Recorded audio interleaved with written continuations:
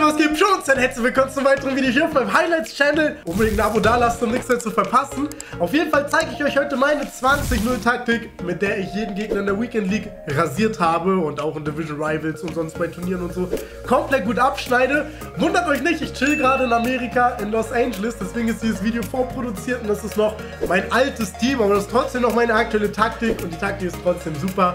Deswegen zeige ich sie euch auf jeden Fall jetzt. Das ist das Team, mit dem ich am Anfang von FIFA die ganze Zeit gezockt habe. Es ist ein sehr freshes Team, was richtig geil performt hat. Jeder dieser Spieler ist super. Ja, okay, wobei, na, okay, es gibt einen Mann, die Streams geguckt hat, weil Werder hat schon teilweise ein paar Faxen gemacht, aber ähm, trotzdem 20-0 erreicht und ja, zum Beispiel Davis hat mich komplett überzeugt in meinen Augen bester Linksverteidiger im gesamten Game. Dieser Raketen-Playstyle macht richtig viel aus. Messi und Neymar viel besser als gedacht. Über die Innenverteidiger, da weiß man ja, dass die top sind. Das sagt doch deren Preis. Naja, wir kommen auf jeden Fall jetzt erstmal direkt zu meinen Taktiken, weil dafür seid ihr hier. Ich habe verschiedene Taktiken. Ich habe jede einzelne dieser Spots benutzt. Das solltet ihr auf jeden Fall auch tun, denn je nach Spielverlauf und so sollte man immer flexibel sein, dass man ja, wenn man zum Beispiel hinten liegt, dann hält der Gegner auch manchmal 20 Minuten den Ball. Dann müsst ihr eine Taktik haben, mit der ihr ihn komplett presst, mit der ihr die ganze Zeit anrennt und den Ball erobern könnt. Denn wenn ihr so eine Taktik nicht habt, wenn ihr Pause drücken müsst, um so eine Taktik einzustellen, der Ball aber nie ins Ausgeht und der Gegner einfach hinten rumpasst, bis das Spiel vorbei ist, das ist einfach wack. Das ist einfach wack. Deswegen habt all diese Taktiken auf jeden Fall ready. Und wir gehen in die Taktik, mit der ich eigentlich am meisten gespielt habe. Das ist die Taktik, die ich zu Beginn der Matches immer drin hatte. Ich kann euch erstmal zeigen. 4-3-3-4 finde ich in diesem FIFA extrem stark. Ich finde es richtig gut, wenn man halt über Außen kommt in diesem FIFA-Teil und das kann man mit dieser Formation wunderbar machen. Man hat trotzdem noch eine Viererkette, das heißt, man steht hinten sicher, man hat zwei ZMs, das heißt, im Mittelfeld ist man auch nicht zu offen, die relativ weit auch sogar stehen. Ähm, und dann hat man noch eine Puteas, beziehungsweise man hat einfach einen ZOM, nicht jeder hat Puteas, aber man hat halt einen ZOM, der überall noch in der gegnerischen Hälfte Meter macht und überall anspielt spielbar ist. Also einfach eine richtig geile Formation. Wir kommen zur Taktik. Äh, ich habe Pressure on Heavy Touch. Auf Deutsch heißt es äh, Druck nach Fehler. Das heißt, sobald, man sieht es ja zum Glück als Beispiel, die hat ja hier unten Beispiele, sobald der Gegner einen schlechten Pass spielt, einen Ball schlecht annimmt oder irgendwas hinten kritisch ist, merken eure Spieler das und fangen an zu pressen. Und das Ding ist, Pressing in diesem FIFA ist sowieso so extrem stark. Genau deswegen habe ich auch die Tiefe auf 71 gestellt. Dadurch, ab 71 presst das Team halt sowieso von selber, steht relativ äh, weit vorne und macht von selber auch Abseitsfallen. Finde ich auch sehr, sehr stark. Es ist aber nicht so wie zum Beispiel bei dauerhaftem Druck so, dass das Team dann plötzlich offen steht, so die, dass die mit drei Leuten auf den Verteidiger zurennen und der macht dann einen Pass und plötzlich sind riesige Lücken da und er ist durch. Nein, das Coole ist, wenn ihr einfach nur die Tiefe nach vorne stellt und halt nicht Dauerdruck ähm, einstellt, dass die Grundformation gleich bleibt. Das Team bleibt trotzdem in einem 4-3-3 oder was ihr halt für eine Formation habt. Wenn ihr halt dauerhaften Druck einstellt, dann die Formation löst sich auf. Das Team spielt plötzlich in einem 1-7-2 oder sowas, so, wo die Spieler halt gerade rumrennen. Aber wenn ihr es halt so einstellt, wie ich es hier eingestellt habe, bleibt das Team einfach von der Formation gleich, so wie ihr es halt haben wollt. Ist aber trotzdem offensiv. Gegner können euch aber trotzdem nicht einfach überspielen. Das ist halt das Geile. Und ihr erobert richtig schnell in der gegnerischen Hälfte äh, Bälle. Um das Maximum aus dieser Taktik rauszuholen, müsst ihr häufig mit R1 pressen.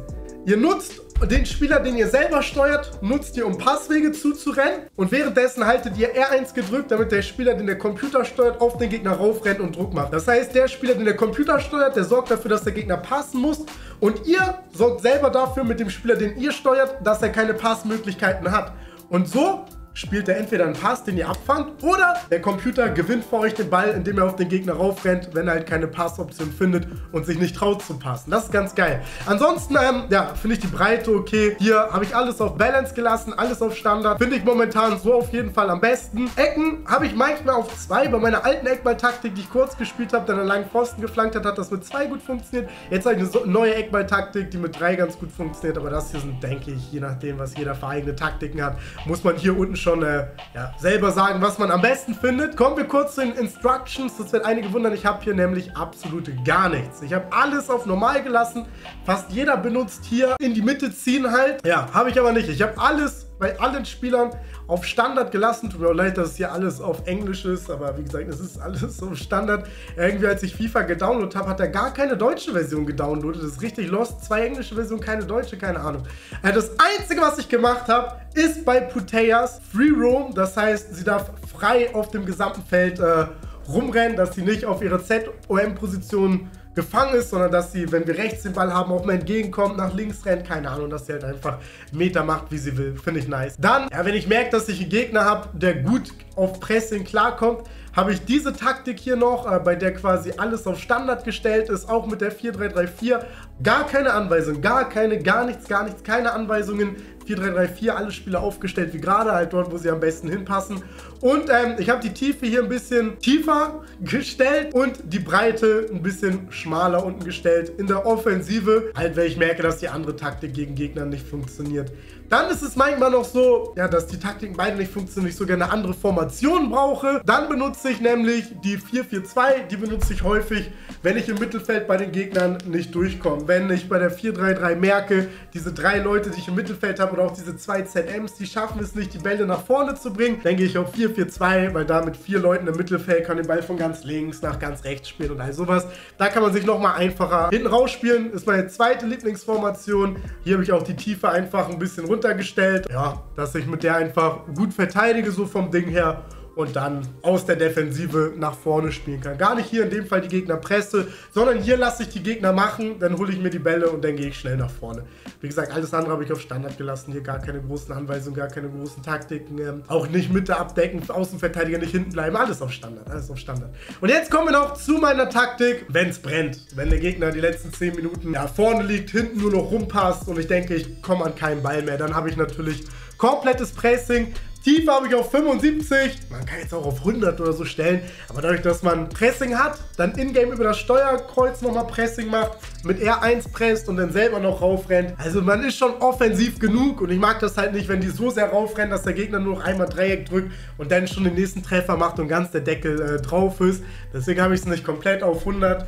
Und ja, Formation, die dazu gehört, ist die 3 4, 1, 2. Man steht sehr, sehr offensiv. Richtig nice. Man hat trotzdem aber noch einen ZOM, der halt auf die beiden Stürmer verteilt oder auf die Außen spielen kann. Man hat viele Leute vorne einfach wichtig, wenn man hinten liegt und halt auch alle sieben Leute, die vor der Verteidigung sind, pressen, arbeiten mit, geben Gas. Wenn der Gegner trotzdem einen Konter startet, dann am besten über seine rechte Seite, dann habe ich Glück. Dann ist nämlich Davis dort, der ist so schnell, dass der Gegner abrennt und ich nochmal einen Gegenangriff starten kann. Ja, das ist ganz geil, das ist so die Idee. Habe ich nicht häufig gebraucht bisher, diese Taktik, aber wenn ich die ab und zu mal gebraucht habe, dann hat es auch ganz gut funktioniert. Und auch hier habe ich bei den Taktiken bisher alles so gelassen. Also ich finde diese einzelnen Anweisungen in diesem FIFA persönlich nicht so wichtig. Also die machen schon einen Unterschied, aber ich finde sie so, wie sie standardmäßig eingestellt sind, besser gesagt, sogar momentan für mich am nicesten. Nicer, als wenn man hier irgendwas ändert. Auch hier könnte man jetzt sagen, komm, du willst doch eh totalen Angriff. Sag den ganzen Innenverteidiger noch, dass der als Stürmer spielen soll und so. Ja gut, dann schießt der, dann passt der Gegner zum Torwart. Torwart drückt Flanke einmal durch, schießt ihn über die Mittellinie, der Gegner ist alleine vom Tor so. Also das macht auch keinen Sinn. Ich finde, das ist so schon, wie es jetzt eingestellt ist, wirklich am nicesten eingestellt. Und das sind einfach meine Taktiken, wie gesagt, die erste, die ich gezeigt habe mit 4-3-3 und Druck nach Fehlern, das ist die, die ich fast immer von erster bis letzter Minute spiele. Sogar auch wenn ich vorne liege, spiele ich die weiter, weil ja, auch dann ist es gut, den Gegner zu pressen, sich nicht hinten reinzustellen, einfach weitere Tore zu machen. Das ist so meine Devise. Ja, testet das gerne aus. Wenn ihr gerne mit Druck spielt, dann wird euch das auf jeden Fall weiterhelfen. Wenn ihr lieber eher geduldig seid, gar nicht so auf den Gegner raufrennt, sondern einfach hinten abwartet, dass der Gegner Fehler macht und dann kontert, dann ist meine 4-4-2-Taktik für euch vielleicht ein bisschen besser und dann kann man sogar als Angriffsspiel schneller Angriff einstellen, dass ihr halt schnell kontern könnt, dann passt das da auch zu euch. Ja, das waren meine Taktiken. Das war's dann von dem Video. Checkt dir gerne ein anderes Video auf meinem Highlights-Kanal ab und vergesst, wie gesagt, nicht den Kanal zu abonnieren. Hier kommt auf jeden Fall auch nicer Content. Und willst du meinen zweiten Kanal ist, aber lohnt trotzdem, hier abonniert zu haben. Ja, Daumen nach oben würde mich freuen, Abo würde mich freuen. Ich voraus. Macht's gut, haut rein. Ciao!